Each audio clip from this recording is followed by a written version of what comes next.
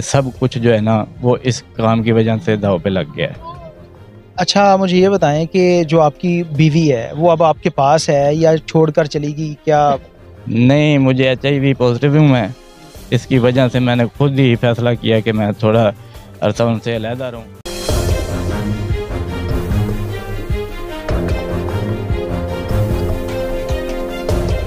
ताकि मेरा जो है ना वायरल रोड वो ज़ीरो पे आ जाए। फिर मैं उनके साथ जो है ना तल्लुकात रखूँगा। एच आई वी है ताकि आपसे जो बीमारी है वो आगे आपकी बीवी को या आने वाली नस्ल के अंदर मुंतकिल ना हो। हाँ जी। तो फिर उसके बाद जो बीवी का रवैया था नशे पे लगने से पहले और नशे के नशे के बाद सेम रहा या मतलब क्या उनके रवैये के अंदर क्या तब्दीली आई? नहीं जी देखो ना भाईजान के बीवी जो होती है ना वो ज़िंदगी का टू एच टीवी के साथ मैं हूँ आपका मेज़बान और मेरे नादरीन मेरे साथ जो आप खूबसूरत शख्सियत देख रहे हैं ये भाई नशा कर रहा था रोड के साइड पे बैठ के। जब हमारा यहाँ पे गुजर हुआ तो हमने देखा और इससे बात करने की कोशिश की कि दिखने में माशाल्लाह भी बहुत खूबसूरत हैं। अल्लाह ताला ने इनको सेहत और तंदुरुस्ती वाली ज़िंदगी दी है।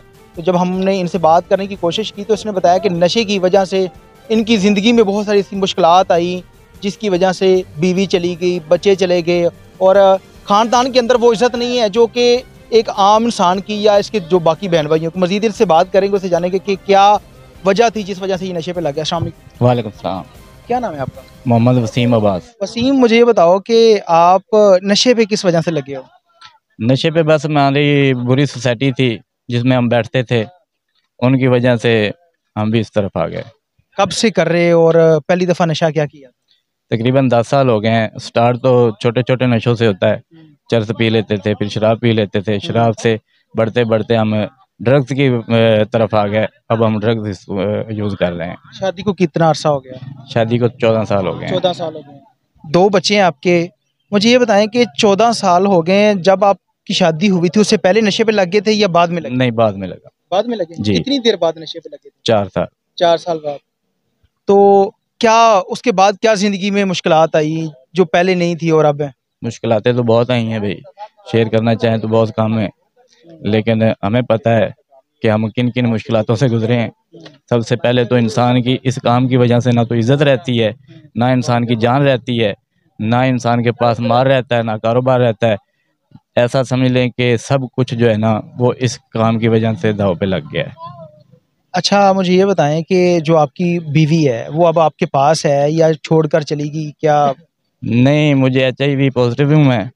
इसकी वजह से मैंने खुद ही फैसला किया कि मैं थोड़ा अरसा उनसे अलहदा रहूँ ताकि मेरा जो है ना वायरल रोड वो ज़ीरो पे आ जाए फिर मैं उनके साथ जो है ना तल्लुकात रखूँगा।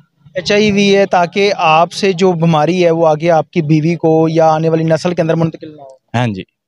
तो फिर उसके बाद जो बीवी का रवैया था नशे पे लगने से पहले और नशे के नशे के बाद सेम रहा या मतलब क्या उनके रवैये के अंदर क्या तब्दीली आई? नहीं जी देखो ना भाईजान के बीवी जो होती है ना वो ज़िंदगी का हम सफ़र होती है। उसका दिल तो नहीं चाहता कि मैं अपने शोहर से जुदा हूँ लेकिन इंसान के कुछ ऐसे काम होते हैं बुरे जो उनको बुरे लगते हैं। इंसान बुरा नहीं होता उनके काम बुरे होते हैं। मना किया उन्होंने? बहुत मना किया है।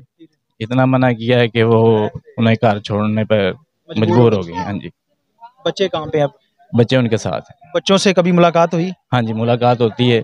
पंद्रह दिन बीस दिन बाद जाता हूँ। क्या उम्र है मुलाकात। एक आठ साल का एक छः साल का है। एक आठ साल का और एक छः साल का। आठ साल और छः साल बच्चे की उम्र जो होती है बच्चा समझदार होता है चीज़ों को महसूस कर सकता है। तो क्या कभी जब आप उनके सामने जाते हैं तो कभी ये सोच नहीं आई कि यार मैंने अपनी ज़िंदगी तबाह कर ली है? माँ बाप के बगैर बच्चों की तो कोई इज़्ज़त नहीं है कोई ज़िंदगी नहीं है। तो कभी कभी नहीं सोच आई इस तरह की? नहीं देखो ना सोच तो बहुत आती है। बच्चों से बहुत प्यार होता है वालदेन को। सोच बहुत आती है, लेकिन हम मजबूर हो चुके हैं कि हमारा जहन इतने दबाव में है कि हम नशे की तरफ़ ही भागते हैं।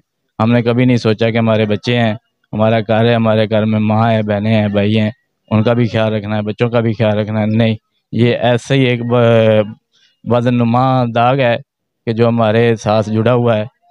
और बस मैं ये कहूँगा कि इसकी वजह से इंसान की ज़िंदगी तबाह हो जाती है। बीवी से कितनी देर होगी मुलाकात नहीं हुई? छः माह। छः माह हो बच्चों से कितनी देर होगी? बच्चों को तो पीछे दो हफ़्ते पहले मिल के आए। दो हफ़्ते पहले मिलते जी। जब बच्चों को मिलने के लिए गए थे क्या तासरात थे आप? ससुराल तो देखो ना कि बाप जब मिलता है बच्चों को तो ऐसे समझ लें कि जैसे कि वो पचास साल उसकी उम्र बढ़ गई है। क्यों? कि बच्चे एक बहुत बड़ी नेमत है इंसान के लिए। लेकिन बाद में पछतावा भी होता है कि इन बच्चों की खातर हमने क्या किया है। माशरे में हमने बुरे काम किए हैं। बुरे कामों की वजह से इन पे भी असर पड़ेगा।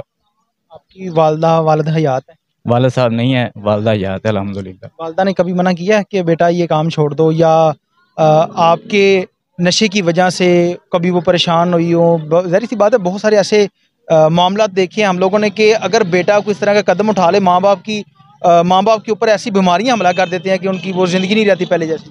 जी बिल्कुल आपने ठीक बोला है। मेरी माँ मेरी वजह से ब्लड प्रेशर की मरीज़ है। जितनी परेशानी है उन्होंने ली हैं मेरे सामने के मुताबिक किसी ने भी नहीं ली होगी। क्यों? माँ की ममता बहुत ज़्यादा होती है। वो बच्चे को बुरी आदत देकर समझ लो कि मर जाते हैं। बाकी जो बहन भाई हैं वो क्या करते हैं और आपके साथ क्या सलूक है उनका?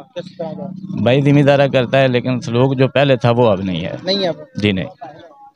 जो बंदा नशा करता है अक्सर उसको ना तो रिश्तेदार घर में जाने देते हैं कि ये कोई चीज़ ना चुरा के ले जाए ये बात सच है और आपके साथ भी कभी इस तरह का हुआ है? बिल्कुल ऐसा ही होता है। बहन भाइयों के घर जाएँ वो पहले तो अपनी चीज़ें संभालते हैं कि हो ना ऐसा कि ये हमारी कोई चीज़ ही उठा के ले जाए।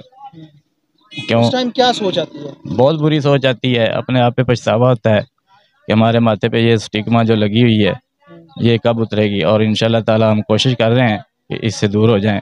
अब कभी कभार इस आदत को हम अपनाते हैं। लेकिन कोशिश कर रहे हैं कभी कभार कि जब आप फर्द करें कि एक नॉर्मल इंसान है अगर वो अपने किसी रिश्तेदार के घर में गया है उनका रवैया ठीक ना ना हो तो बंदा बड़ी चीज़ें को महसूस करता है कि यार ये आ, मेरे साथ इस तरह का बिहेव क्यों कर रहे हैं?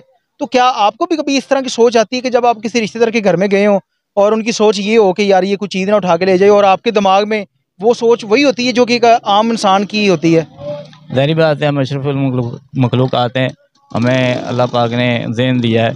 जब हम किसी का लहजा तसरात गलत देखते हैं तो जहन में तो आता है कि यार देखो ये हमारी ऐसी गलती है कि जिसकी वजह से हमारे रिश्तेदार हमसे मुँह फेर रहे हैं अच्छा रवैया इस्तेमाल नहीं कर रहे। हती कि वो उनका ये जहन होता है कि कब ये हमारे घर से जाए और हम सुकून से बैठें। क्या कहना चाहेंगे? नौजवान नस्ल को क्या मैसेज देना चाहते हैं? नौजवान नस्ल को मेरा ये मैसेज है कि गुजारा अल्लाह पाक के वास्ते इस लानत से अपने आप को छुड़वाएँ और एक अच्छी और म्यारी ज़िंदगी जिए ताकि आपके घर वाले और आपके साथ जुड़े हुए रिश्ते जो हैं, वो भी पुरसकून रहें और आप भी पुरसकून रहें। जी नजरिन, आपने वसीम की बात सुनी। ये वो इंसान है जिसने नशे की वजह से अपनी ज़िंदगी में बहुत कुछ खोया है। बीवी चली गई, बच्चे चले गए। वो बहन भाई जो कि आपके मुश्किल वक्त में आपके साथी होते हैं, लेकिन वो इस हालात में आपको छोड़ देते हैं। उनकी सोच होती है कि यार ये बंदा नशा करता है, कल को घर आएगा, कुछ ना कुछ चीज़ें उठा के ले जाएगा। तो जो नशा करने वाला इंसान होता है, उसकी उस तरह से मुआरे के अंदर इज़्ज़त नहीं होती, जिस तरह के एक आम इंसान की होती है। इसलिए ये हमारा प्रोग्राम करने का मकसद ये है कि उन नौजवानों को मैसेज दिया जाए, जो कि अभी थोड़ा बहुत नशा कर रहे हैं और कल को खुदा ना खासा कि आप भी इस स्टेज पे पहुँच जाएँ, कि आपके घर वाले आपको घर से निकाल दें। इसलिए जो लोग इस तरह का काम कर रहे हैं, उनको ये प्रोग्राम दिखाने का मकसद ये है कि आप लोग इनसे सबक हासिल करें ताकि इस तरह का जो नुकसान ये अपनी ज़िंदगी में कर चुके हैं, आप लोग ना करें। इसके साथ ही अपने मेज़बान उमेर अली को इजाज़त दीजिए। देखते रहिए forty two H T V अलाने